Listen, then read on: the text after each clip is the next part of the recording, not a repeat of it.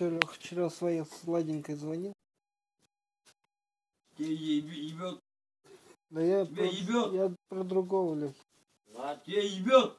Вчера раз А, его ну, тебе а, ебет. Ты задаешь такие вопросы. Ну ладно.